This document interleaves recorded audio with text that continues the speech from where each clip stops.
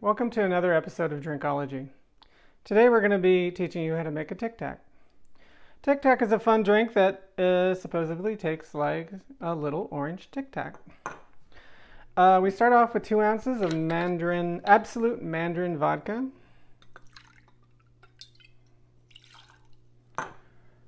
Two ounces of Red Bull. And three quarters ounce of orange juice. Give the old taste test. Mmm, yeah, that's just like a Tic Tac. This reminds me of the start of an evening of vomiting.